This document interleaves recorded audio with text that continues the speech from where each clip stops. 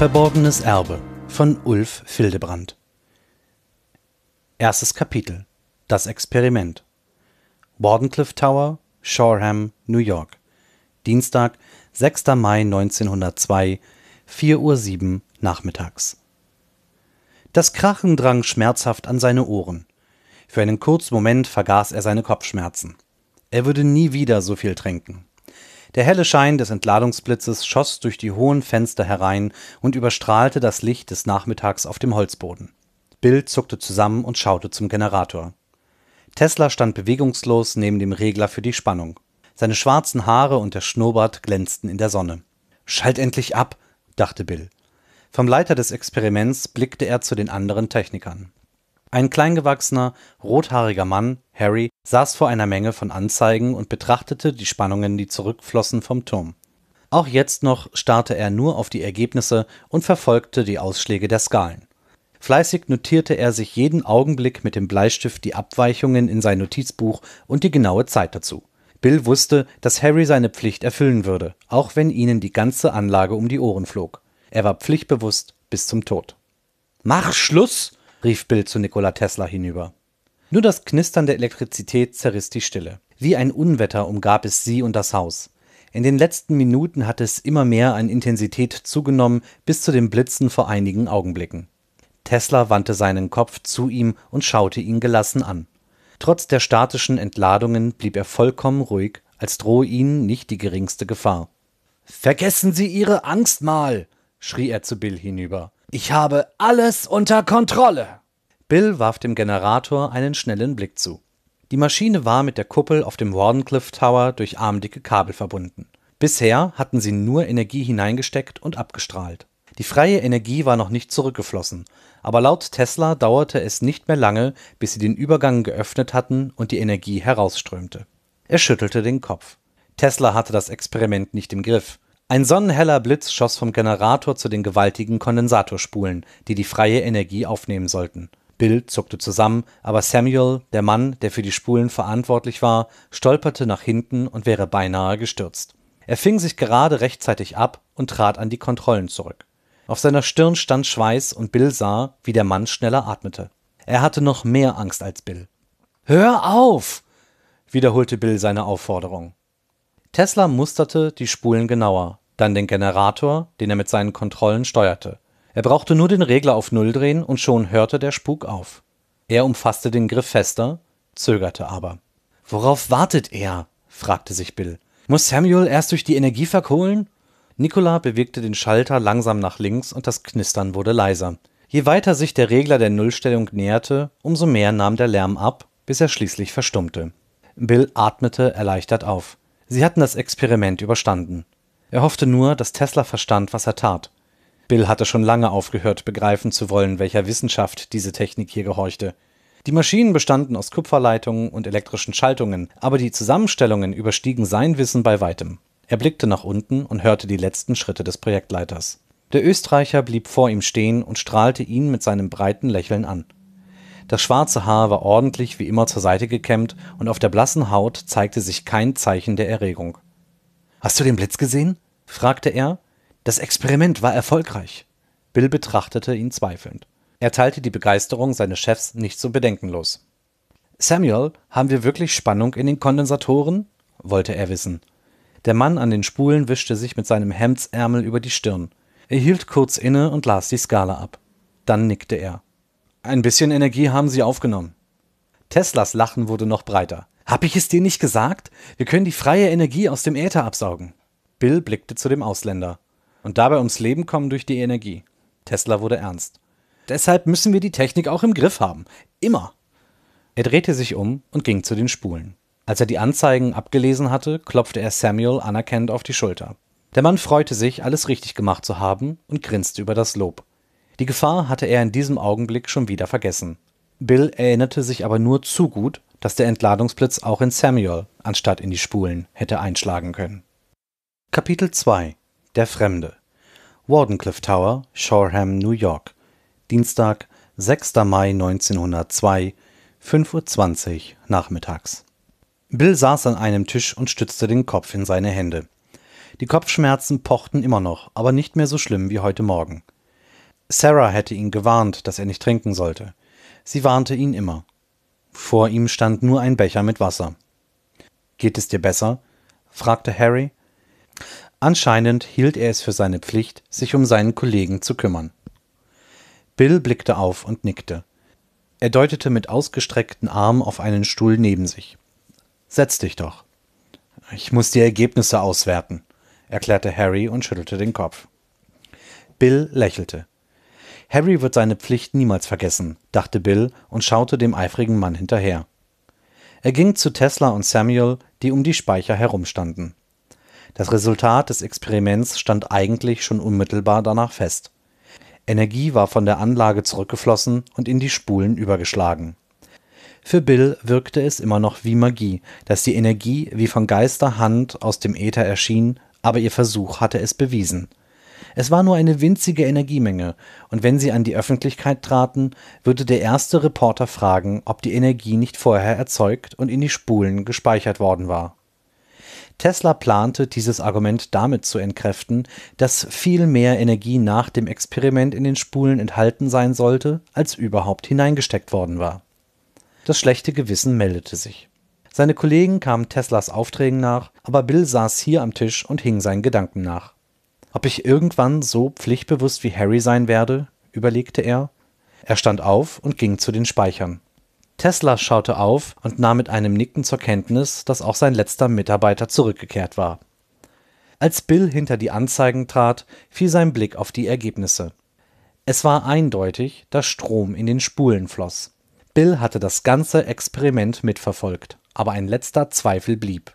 Er hatte die zurückliegenden Wochen Kabel gelegt und Geräte aufgebaut, aber er verstand nur zum Teil, was Tesla mit dieser Anlage baute. Den Reportern der Zeitungen wie der New York Times tischte der Wissenschaftler Lügenmärchen von transatlantischem Funk auf. Bill musste immer noch lachen, als er an den Empfang vor drei Wochen zurückdachte. Tesla hatte alle Vertreter der Zeitungen eingeladen und ihnen eine gewaltige Geschichte von einem Wettlauf mit Marconi über die Erfindung von Funkanlagen erzählt. Bill streckte die Hand aus. Mit einem Finger pochte er an eine Skala, um sicherzugehen, dass der Zeiger sich nicht nur verhakt hatte. Zu seiner Beruhigung rührte sich nichts. Ein Klopfen schreckte ihn aus seinen Gedanken. Voller Erstaunen sah er zu Tesla hinüber. Der Wissenschaftler blickte gelassen zum Eingang. Scheinbar hatte er den Besucher erwartet. Sie wissen, wer das ist? fragte Bill argwöhnisch. Nikola Tesla warf seinem Mitarbeiter einen kurzen Blick zu.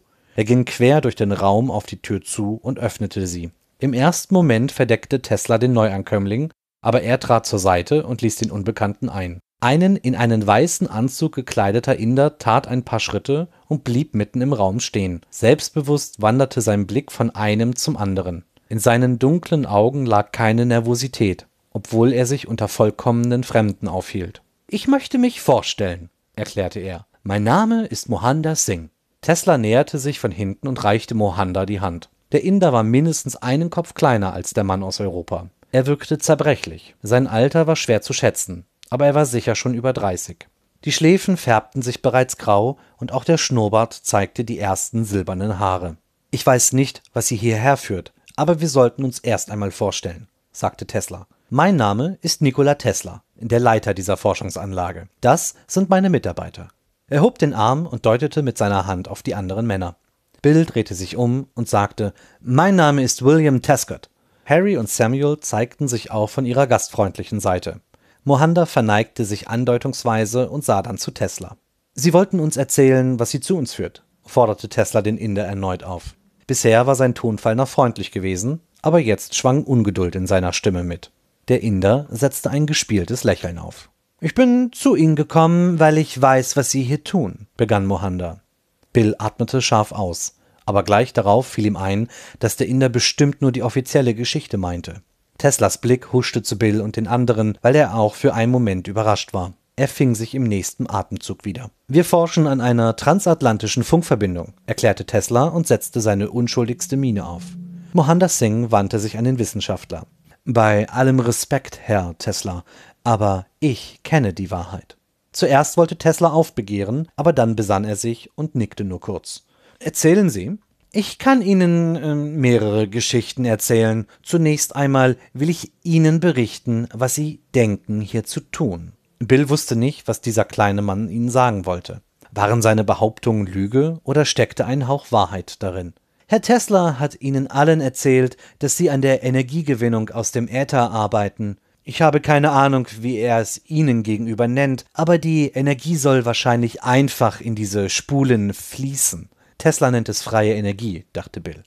Es stimmt, aber es ist nicht alles. Der Äther enthält Energie und diese Energie kann genutzt werden. Daran besteht kein Zweifel. Schweigen setzte ein. Der Inder unterbrach seinen Bericht und ging auf den Generator in der Mitte des Raumes zu. Er legte die Handfläche auf die kalte Metallwand. Es sah beinahe aus, als hielte Mohanda still Zwiesprache mit der Maschine. Und? fragte Tesla. Mohanda schloss die Augen und atmete tief durch. Er lächelte. Neben der Energie existieren im Äther Wesen, die nur auf die Gelegenheit warten, in unsere Welt einzudrängen. Ein drittes Kapitel Unglaube. Wardenclyffe Tower, Shoreham, New York. Dienstag, 6. Mai 1902, 6 Uhr 34 abends. Das ist Unsinn, rief Tesla. Er trat einen Schritt auf Mohanda zu. Der Inder nickte. Das ist Ihre Meinung. Tesla warf die Arme in die Höhe und schüttelte den Kopf. Woher wollen Sie das wissen? Mohanda entfernte sich vom Generator. Er wandte sich dem Leiter der Anlage zu. Mein Vater hat genau dasselbe probiert. Die Welt hat ihm alles genommen, was ihm etwas bedeutete, aber er hat von vorne angefangen und Entdeckungen gemacht, die niemand für möglich gehalten hätte. Er ging auf den Wissenschaftler zu und griff nach seinen Händen, um sie fest zu umklammern. Bill hatte erwartet, dass sich Tesla wehren würde, aber anscheinend geschah alles zu überraschend. Und am Ende kam er dabei um. Die Geister, die er rief, haben ihn umgebracht, im wahrsten Sinne des Wortes. Tesla schüttelte den Griff des Inders ab und näherte sich den Spulen. Was soll das für eine Geschichte sein? Er wollte die Welt verbessern, aber niemand hat ihn gelassen? Mohanda lächelte gequält. Nein, er hatte mit der Welt abgeschlossen. Er wollte der Welt nichts zurückgeben. Und ich will es auch nicht, denn die Erfindung bringt nichts Gutes. Ich will die Welt nur warnen und beschützen. Und deshalb sind Sie hier. Mohanda Singh verbeugte sich tief. Das ist mein Wunsch. Ich könnte sie zwingen, mit ihren Experimenten aufzuhören, aber das wäre genau dasselbe, was die Welt meinem Vater angetan hat. Ich kann sie nur bitten, von ihrem falschen Weg abzulassen und Demut zu zeigen. Tesla beruhigte sich. Er stellte sich vor den Inder und betrachtete ihn. Bill fand das Verhalten des Fremden auch ungewöhnlich. Kein Amerikaner würde hierher kommen und sie dann freundlich bitten. Wenn jemand schon die Mühe auf sich nahm und in diese verlassene Gegend gelangte, dann würde er mit allen Mitteln versuchen, seinen Willen durchzusetzen. Offenbar dachte der Inder anders darüber. Bill musste sich eingestehen, dass er nicht viel über dieses Volk wusste. Er konnte nicht beurteilen, ob sie es mit einem besonderen Exemplar zu tun hatten oder ob alle Angehörigen dieser Kultur sich so verhielten. Auf jeden Fall wünschte sich Bill, dass Mohanda wieder verschwand. Wenn er ein Verrückter war und alles sprach dafür, dann sollte er sie einfach ihre Arbeit tun lassen. Bitte verlassen Sie uns jetzt. Wir haben Ihnen zugehört, aber ich denke nicht, dass wir Ihrem Wunsch nachkommen werden, meinte Tesla und reichte dem Inder zum Abschied die Hand. Mohanda ergriff sie und legte seine zweite Hand zur Bekräftigung darauf. Ich hoffe, dass Sie von selbst zur richtigen Erkenntnis gelangen, bevor es zu spät ist. Tesla neigte den Kopf. Der Inder wandte sich um und ging zur Tür. Er drehte sich noch einmal zu den Anwesenden um, als wollte er etwas sagen, schwieg jedoch. Wortlos verließ er das Labor und die Tür fiel ins Schloss. Was für ein Idiot, flüsterte Tesla. Dem sind die indischen Weisheiten zu Kopf gestiegen. Bill schaute auf die Tür und dachte nach. Er wünschte sich zwar, dass der Inder verschwand, aber der Grund dafür war, dass er dem Experiment misstraute. Er verstand nicht, was Tesla baute und was die Grundlage dafür war. Vielleicht hatte der kleine Inder doch recht. Ich gehe ihm nach, verkündete Bill. Tesla starrte ihn erstaunt an. Was willst du von ihm? Er ist nur ein Verrückter. Ein Verrückter wie du, dachte Bill. Ich will sehen, wie er hierher gekommen ist und wo er hingeht. Tesla schüttelte den Kopf. Ach, was soll das bringen? Selbst wenn er zu Fuß hierher gekommen ist, bringt dir das doch nichts. Bill schwieg. Er wollte nicht über seinen Entschluss diskutieren. Stattdessen ging er auf die Tür zu. Dann geh ihm nach, rief Tesla und lachte. Er ist nur ein Wichtigtour. Dass die anderen beiden in das Lachen mit einstimmten, bemerkte Bill noch am Rande. Er trat in die Kälte der einsetzenden Nacht hinaus. Das Rauschen des Meeres klang von ferne zu ihm. Bill fragte sich, in welche Richtung er sich wenden sollte. Mohanda war nicht mehr zu sehen. Shoreham stellte die einzige Siedlung in der Nähe dar, zwischen dem Tower und dem Meer. Es gab eigentlich keine andere Erklärung, als dass Mohandas zur Stadt zurückgegangen war. Bill rannte los. Der Wind wehte ihm ins Gesicht. Trotz des beginnenden Frühlings war es kalt und die Feuchtigkeit der See hing in der Luft. Er folgte der Country Road, bis er zur Woodville Road gelangte, die bis zur Küste führte. In einiger Entfernung sah er eine Gestalt und beim Näherkommen erkannte er Mohandas Singh. Gemächlich schritt der Inder an der Straßenseite entlang. Nur sie beide hatten sich an diesem Abend hinausgewagt. Die ersten Häuser tauchten auf, so dass Bill nicht mehr befürchtete, dass Mohanda ihn erkennen würde, wenn er sich zufällig umdrehte. Bill hoffte es zumindest. Ohne Eile strebten sie dem Meer zu. Die Sonne versank allmählich hinter dem Horizont, nur die trübe Dämmerung erhellte noch den Weg. Bill war froh, dass der Inder ein weißes Gewand trug. Wenn seine Kleidung dunkler gewesen wäre, hätte er ihn sicher verloren. Endlich gelangte Mohanda zum Ufer. Hier an dieser Stelle gab es einen langgezogenen Dünenbereich. Die Häuser blieben dahinter zurück und nur ab und zu führte ein schmaler Weg bis zum Strand.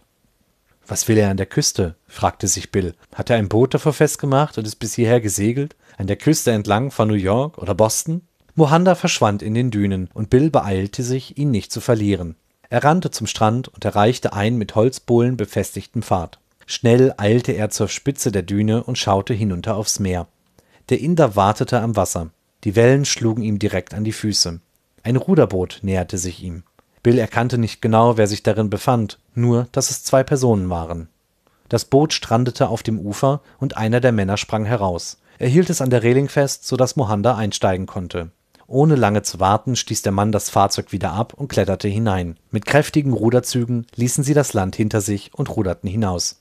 Bill fragte sich, was dieses winzige Boot auf dem gewaltigen Atlantik verloren hatte, als das Meer von dem Boot in Bewegung geriet. Strudel und Wellen bildeten sich und eine dunkle Masse schob sich nach oben. Lichter flammten auf und beleuchteten einen Eisenkörper, von dem das Wasser ablief. Das Ruderboot steuerte direkt auf eine Aussparung zu und mit einem Krachen, das bis zum Ufer drang, kam es zum Stillstand. Die drei Männer erhoben sich und betraten die Oberfläche des Metallkörpers. Für Bill sah es wie ein Schiff aus, aber es wirkte wie die oberste Fläche eines viel größeren Gefährts. Kein Schiff, das auf dem Wasser schwamm, sondern hauptsächlich unter der Wasserlinie blieb. Und gerade eben war es aus dem Fluten aufgetaucht. Bill fragte sich, woher Mohandas Singh stammte, dass er so ein seltsames Fahrzeug besaß und benutzte. Hatte er nicht gesagt, dass sein Vater viele Erkenntnisse erlangt hatte? Anscheinend stimmten die Geschichten, die er erzählt hatte. Bill fröstelte, als er daran dachte, dass auch der Rest der Wahrheit entsprechen konnte. Welche Gefahren gingen sie mit ihren Experimenten ein? Wen weckten sie mit ihrer Forschung? Ein Turm reckte sich auf dem Schiff in die Höhe, und in diesem Moment öffnete sich darin ein Schott. Ein Lichtschein fiel aufs Meer hinaus, und die Gestalten zeichneten sich klar davor ab. Bill erkannte Mohanda in seiner weißen Kleidung. Der Inder blieb stehen und hob den Arm in seine Richtung. Er winkte mit der Hand und Bill hatte den Wunsch, sich auf den Boden zu werfen und nicht entdeckt zu werden. Aber dann sagte er sich, dass es dafür längst zu spät war. Mohanda hatte gewusst, dass er verfolgt wurde und dass Bill alles mitbekam, was vor der Küste geschah. Kapitel 4 Zweifel Briarcliff Road, Shoreham, New York. Mittwoch, 7. Mai 1902, 5.04 Uhr nachmittags. Bill saß in der Küche und starrte auf den Schrank. Vor ihm stand eine Flasche Bier. Bisher noch ungeöffnet, aber der Öffner lag daneben. Du solltest damit aufhören. Bill rührte sich nicht. Nur weil du meine Frau bist, heißt das nicht, dass du mir sagen kannst, was ich zu tun habe. Sarah, seine Frau, trat in den Raum und zündete eine Gaslampe auf der Anrichter an. Dann lehnte sie sich an die Tischplatte und blickte ihn an. Sie war groß, schon ein wenig älter, aber man konnte noch sehen, dass sie früher eine wahre Schönheit gewesen war. Ihre blonden Haare fielen ihr bis auf die Schultern. Bill schaute zu ihr hinüber und erkannte den genervten Ausdruck in ihrem Gesicht. Er wusste, dass es auf einen Streit hinauslaufen würde, aber er hatte keine Lust, ihn zu verhindern. Wenn sie sich stritten, musste er zumindest nicht an seine Arbeit denken. Wann gibst du den Job hier auf, damit wir nach New York zurück können? Bill nahm den Öffner in die Hand und setzte ihn an der Flasche an. Er öffnete sie und trank einen ersten Schluck. Nach den Analysen am heutigen Tag war er froh, sich wenigstens diese Freude zu gönnen. Tesla hatte den ganzen Tag vom großen Experiment morgen geschwärmt. Bill hatte es nicht mehr hören können. Es gab so viel, was schiefgehen konnte. Und dann war da noch das, was der Inder erzählt hatte. Nach Bills Begegnung am Ufer musste er dem Fremden glauben. Ich rede mit dir, schrie Sarah ihn an. Ich hör dich, meinte er. Und du hast ja recht, wir sollten von hier verschwinden. Sarah starrte ihn verwundert an. Das ist das erste Mal, dass du das sagst? Bill nahm einen weiteren Schluck, diesmal einen längeren. Es schmeckte ihm, und wenn er genug getrunken hatte, vergaß er die Probleme, die dazu geführt hatten, dass er diesen Job hier annehmen musste. Oder fingen seine Probleme erst mit dem Trinken an? Waren Kabel nicht auch vorher schon falsch verlegt gewesen? Ich hab dazugelernt, erklärte er. Sarah lachte ihn an. Er hatte sie lange nicht mehr lachen sehen. Er erinnerte sich, dass es im letzten Sommer gewesen war. Wann gehen wir? Bill stellte die Flasche auf dem Tisch ab. Am besten gleich morgen früh. Die Fröhlichkeit verschwand aus dem Gesicht seiner Frau. Wieso hast du deine Meinung so schnell geändert? Er blickte sie an, antwortete aber nicht. Sie würde die Erklärung nicht begreifen. Es klopfte an der Tür. Sie erhielten nie Besuch. Wer kommt da? Bill zuckte mit den Schultern. Keine Ahnung. Sie setzte sich in Bewegung und ging zur Haustür. Bill hörte, wie die Tür aufging und ein paar Stimmen redeten. Sie waren zu leise, um sie zu verstehen. Einen Augenblick später erschien seine Frau, hinter sich ein Mann in einem weißen Gewand. Er war indischer Abstammung. Bill kannte ihn nur zu gut. Mohander Singh. Es wunderte ihn nicht, dass der Inder ihn besuchte. Nachdem er ihn am vergangenen Abend am Strand gesehen hatte, wusste Bill, dass der Inder ihn besuchen würde. Habt ihr euch schon bekannt gemacht? fragte Bill. Mohander Singh? Seine Frau starrte ihn überrascht an. Woher kennt ihr euch? Herr Singh kam gestern ins Labor. Sarah blickte ihn noch immer fragend an. Herr Singh interessiert sich für das Experiment. Das tun viele Leute, meinte seine Frau. Er hält es für einen Fehler. Sarah verschränkte die Arme über der Brust und ihr Blick wechselte von einem Mann zum anderen. Ist der der Grund, warum du morgen deinen Job hinschmeißen willst? Mohandas Augen weiteten sich. Hektisch hob er die Hände und wollte auf Bill zustürzen, bevor er sich wieder in den Griff bekam und Haltung bewahrte. Seine Stimme klang drängend. Das dürfen Sie nicht, Herr Tescott. Sie müssen das Experiment von Herrn Tesla kontrollieren und einschreiten, wenn es außer Kontrolle gerät. Bill stand auf, die Flasche Bier in den Fingern. Er ging zum Gasherd und stellte sich daneben. Warum sagt ihm nur jeder, was er zu tun hatte? Warum muss ich das tun? Weil Herr Tesla nicht erkennt, was er tut. Bill lachte auf als ob er wusste, was bei dem Experiment passierte. Die Wissenschaft dahinter war ihm ein Buch mit sieben Siegeln. Ich begreife auch nicht, was bei dem Experiment passiert. Beschwörend hob der Inder die Arme. Aber Sie fürchten zumindest die Gefahr. Warum sonst wären Sie mir gefolgt, wenn Sie mir nicht geglaubt hätten? Bill fühlte sich ertappt. Der Inder verstand ihn besser, als er es sich selber eingestehen wollte. Bill, wovon redet er? wollte seine Frau wissen. Er warf ihr einen Blick zu. Keine Ahnung. Sarah atmete durch und wandte sich an den Fremden. Herr Singh, was ist mit dem Experiment? Es ist eine Gefahr, nicht nur für die Beteiligten, sondern für alle Menschen. Der letzte Satz hing in der Luft. Keiner durchbrach das Schweigen.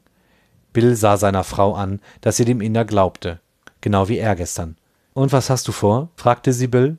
Er hob die Flasche zum Mund und wollte einen Schluck nehmen, aber er merkte, wie unpassend sein Trinken jetzt wäre. Er ließ den Arm sinken. Ich habe es dir vorhin erzählt. Wir gehen morgen weg von hier. Sarah nickte.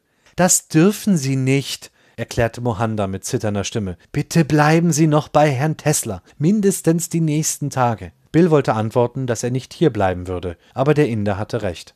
Wenn Bill ihm glaubte, dann durfte er nicht weglaufen. Er war schon aus New York weggelaufen. Hier musste er bleiben, obwohl er nicht wollte.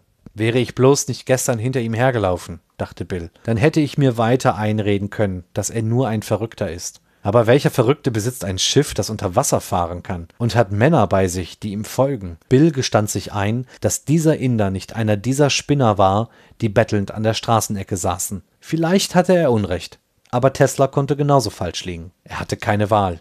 Wenn Tesla recht hatte, passierte gar nichts, wenn er hier blieb.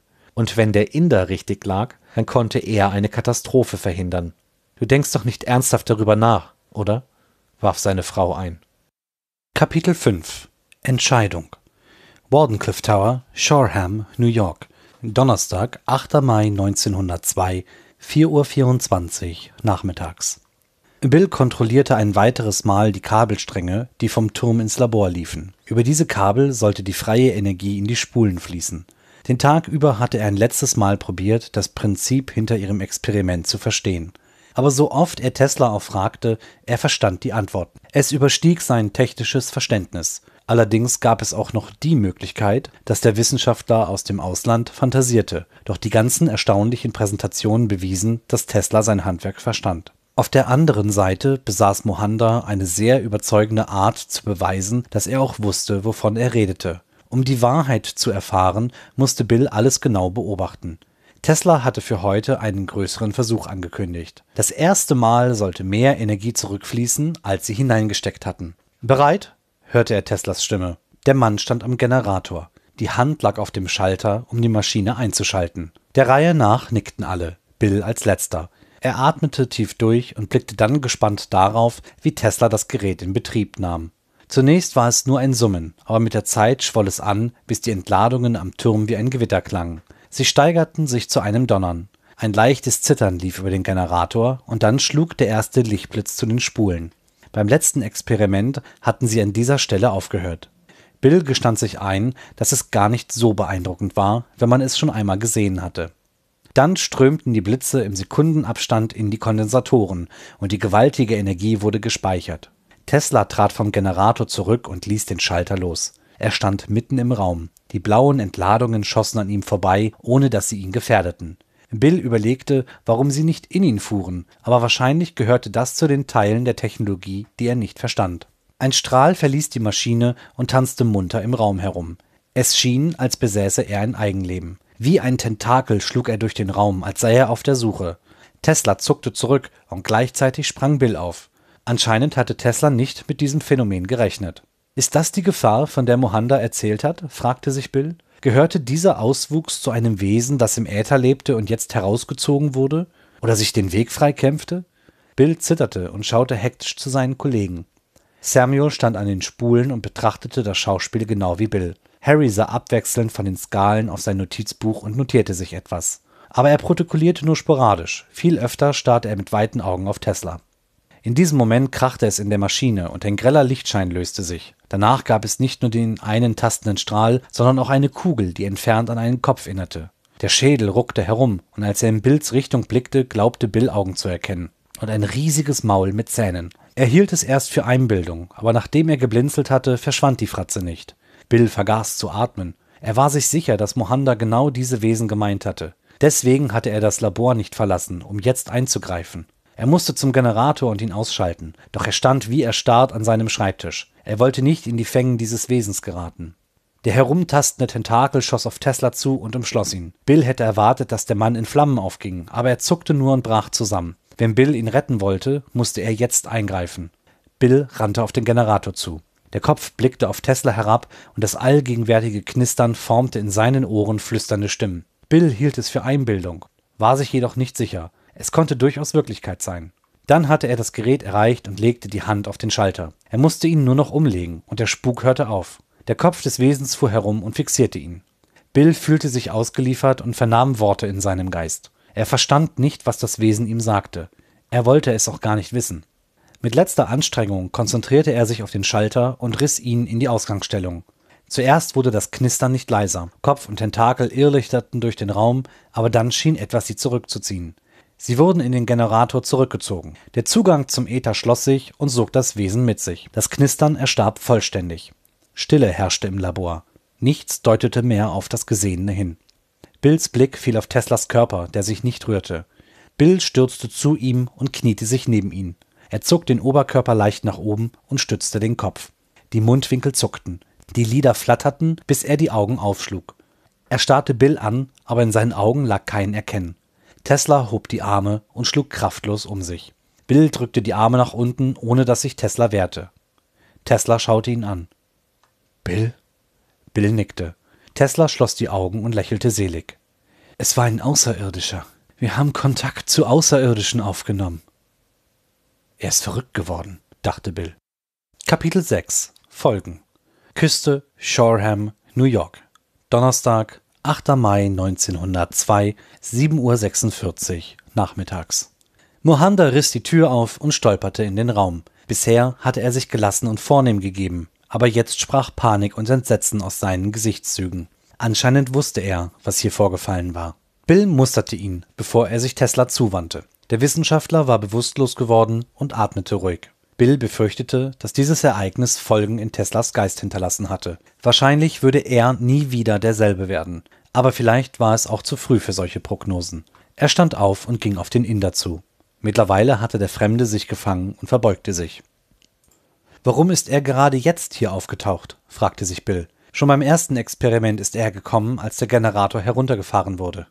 Herzlich willkommen in unserem bescheidenen Heim, begrüßte ihn Bill. Was hat Sie denn hierher geführt? Mohanda schaute ihn nichtssagend an. Es war deutlich, dass er nicht die Wahrheit verraten würde. Wollen wir hinausgehen? schlug Bill vor und deutete auf die Tür. Mohanda nickte. Sie schritten durch die Tür. Harry und Samuel kümmerten sich inzwischen um Tesla. Was immer ihm widerfahren war, keiner der Anwesenden konnte ihm wirklich helfen. Mit Ausnahme vielleicht von Mohanda. Der Inder wusste mehr über die Hintergründe dieser Geschichte als alle anderen. Ein paar Schritte entfernten sie sich vom Gebäude. Neben ihnen ragte der Turm in den Nachthimmel. Die Streben bestanden aus Holz. Nur die Kuppel enthielt unzählige Metallleitungen in genau der richtigen Konfiguration. Bill erinnerte sich, dass er tagelang Kabel verlegt hatte, um sie dann wieder woanders zu verlegen. Immer nach den Anordnungen von Tesla. Erzählen Sie mir, was es mit dieser Gestalt auf sich hatte, forderte Bill. Ich habe es Ihnen gesagt, flüsterte Mohanda. Im Äther leben Wesen, und jedes Mal, wenn man versucht, Energie zu zapfen, merken sie es und nutzen diese Öffnung als Tor zu unserer Welt. Bill blickte zum Meer. Irgendwo dort wartete Mohandas Schiff auf ihn. Sind diese Wesen gefährlich? Der Inder nickte. Mein Vater hat sein Leben gegeben, als er sie aufhalten wollte. Wer war Ihr Vater? Sie kennen ihn nicht. Er nannte sich die letzten Jahrzehnte seines Lebens Kapitän Nemo und sein Schiff hieß Nautilus. Bill schüttelte den Kopf. Die Namen waren ihm unbekannt. Sie waren erfolgreich. Ich konnte das Wesen aufhalten. Mohanda blickte Bill genauer an. In seinen Gesichtszügen zeigte sich Enttäuschung. Das stimmt nicht ganz. Hier passiert nichts, aber an der Stelle, an der mein Vater die Energie abschöpfen wollte, bricht gerade wieder ein Vulkan aus. Die Öffnung in den Äther existiert dort immer noch. Wo ist das? Auf der Insel Montpellier. Sie gehört zu den kleinen Antillen, Karibik. Bill freute sich auf der einen Seite, dass der Inder ihm das alles erzählte, auf der anderen wünschte er, nichts mehr zu erfahren. Er wollte nicht in diese Geschehnisse verwickelt werden. Die Karibik ist weit. Wir können messen, wenn der Äther angezapft wird. Warum war ich sonst immer genau rechtzeitig zu Ihren Experimenten hier? Bill ging zur Northern Road hinunter. Es gab hier nichts, was ihn hielt. Nehmen Sie den leichten Weg? rief ihm Mohanda hinterher. Das werde ich, dachte Bill. Und wenn ich jeden Abend in einer Bar sitzen muss. Ich will nichts mehr hören. Sollte Mohanda das Erbe seines Vaters in Ehren halten und sein Leben aufs Spiel setzen. Er hatte Besseres zu tun. Sie hörten Verborgenes Erbe von Ulf Fildebrand. Gesprochen von Stefan Kantak. Eine Produktion von podyssee.de